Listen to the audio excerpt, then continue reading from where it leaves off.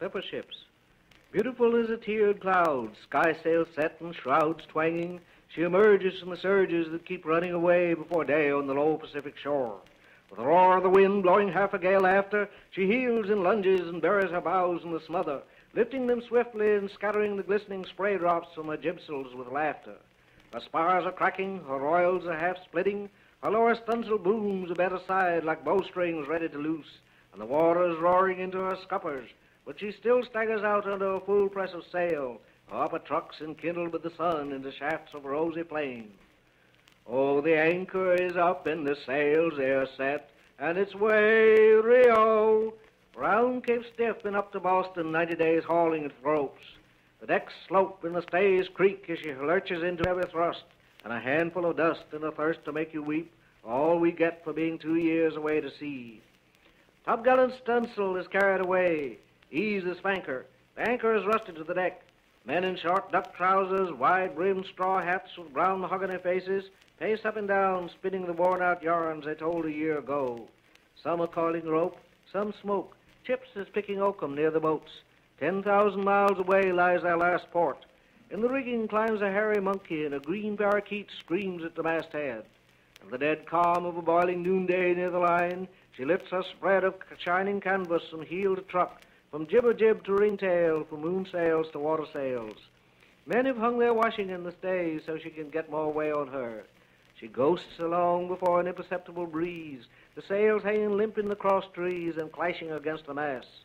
She is a proud white albatross skimming across the ocean, beautiful as a tiered cloud.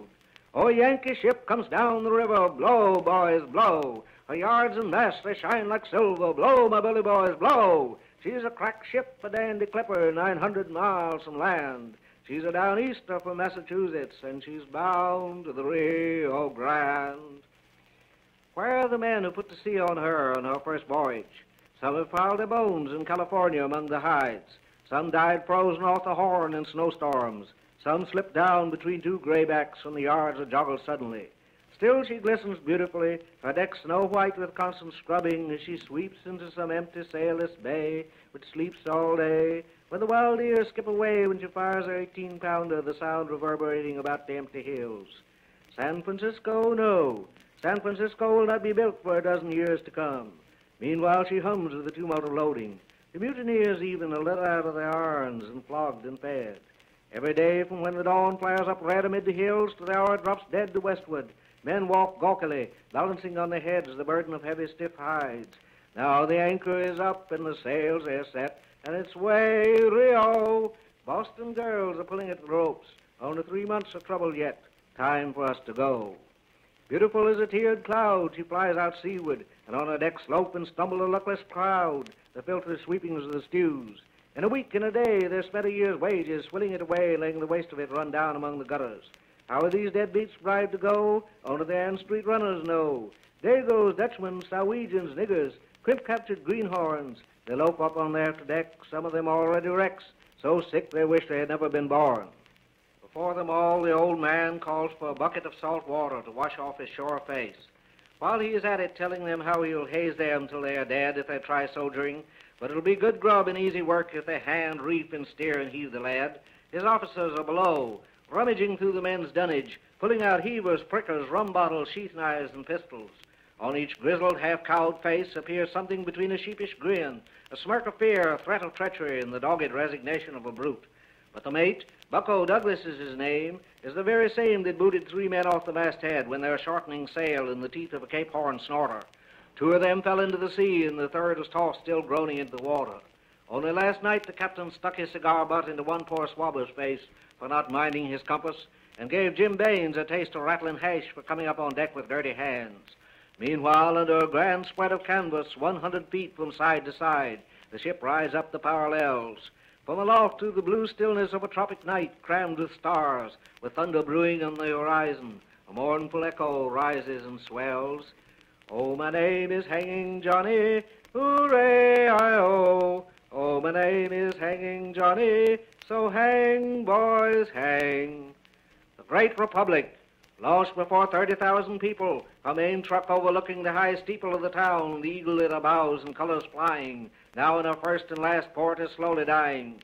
She is a charred hulk with toppling masts, seared gilding, and blistered sides. The alert no more slides pertly through the bergs of the Horn. The desolate barrens of Staten Land, where no man was ever born, hold her bones. The black ball of lightning that took $80,000 worth of cargo around the world in one quick trip was hurled and ripped to pieces on some uncharted reef or other. The dreadnought disappeared in a hurricane smother of foam. The sovereign of the seas that never furled her topsails for ten years was sheared clean amidships with the bows of an iron steamer as she left her last port. The slave of Bald Eagle cut an unlucky career short when she parted with the anchor and piled up on the Paracels of the pirate junks awaiting for every ship that swells out over the horizon. Antelope was called off the Grand Ladrone in the northeast monsoon. She's gone. The Flying Cloud, proud as she was of beating every ship that carried the stars and stripes of the St. George's flag, could not race faster than a thunderbolt that fell one day to her deck and turned her to a cloud of flame. Everything burned away but her fame. No more will California hear the little pilgrims' parting cheer. Their crew took to an open boat when their ship was scuttled by a privateer. So they die out year after year. Sometimes they look out on a great steamer wallowing and threshing through the heavy seas by night, sees far off its swinging light. Beautiful as a tiered cloud, a ghostly clipper ship emerges from the surges that keep running away before day on the low Pacific shore. Upper works are enkindled with the sun into shafts of rosy flame. Swimming like a duck, steering like a fish, easy yet dry, lively yet stiff. She lifts cloud on cloud of crowded stainless sail. She creeps abeam within hail. She dips, she chases, she outpaces like a mettlesome racer, the lumbering tea kettle that keeps her company. Before she fades into the weather quarter, the lookout cries, Holy jiggers, are you the Flying Dutchman that you should go two knots to our one? Hoarsely comes back this answer from the sail.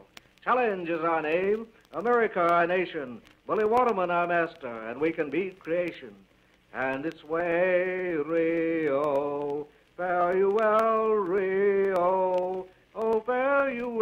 pretty young girl, for we bound to the Rio Grande.